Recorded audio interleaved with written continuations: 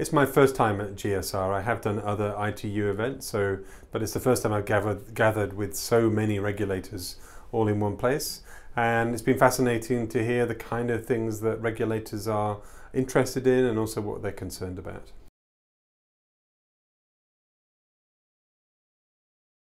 We all re rely on regulators to make good decisions, and uh, I think history shows good decisions are ones that are that come through really thinking things through, learning from other people's experience, and you certainly get a feel from this environment that people are here to catch up with each other and also find out how did you handle that issue, because the kind of issues we're dealing with now are pretty common across the world.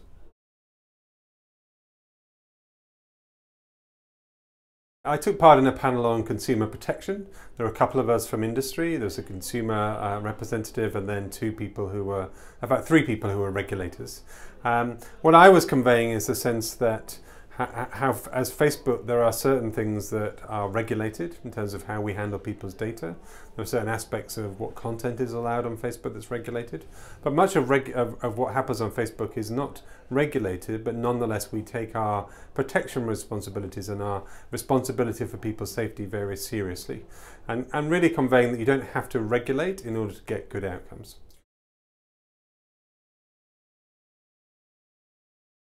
We worry that regulation can, uh, if, it, if it's based on current technology and how people are using technology now, we'll get stuck in ASPIC. Uh, and what we really need is an environment in which all different parties interested in, uh, in technology and its use and, and development actually are in dialogue together. We think dialogue is often more effective than regulation uh, in, in a developing and, and innovative environment.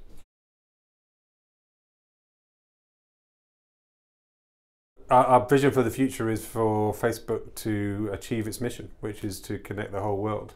Um, we're about 15% done.